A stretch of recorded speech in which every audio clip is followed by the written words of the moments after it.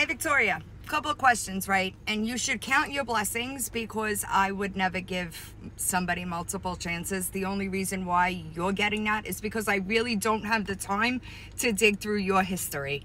Okay. So let me ask you a couple of questions. And I would prefer if you can answer them so that we don't have to keep doing this. Number one, okay, how'd you get that screenshot of the money that was sent to the dealer if you couldn't access that account?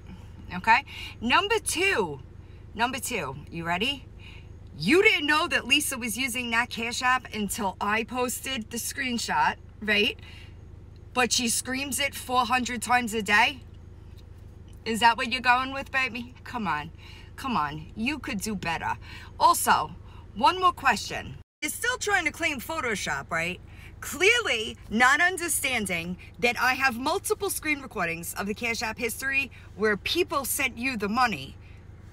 I also have the corroborating text messages of that person discussing sending the money to that Cash App with you. Okay?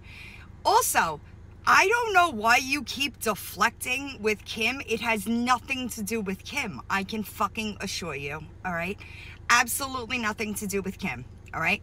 So, I don't know. Call me crazy. Your best bet would have just been to acknowledge and apologize for the fact that you tried to call me a liar, right? When you know damn well that that girl was using your Cash App, right? So, I hope you do the right thing, right? Because that's what somebody in recovery would do. So, see you around.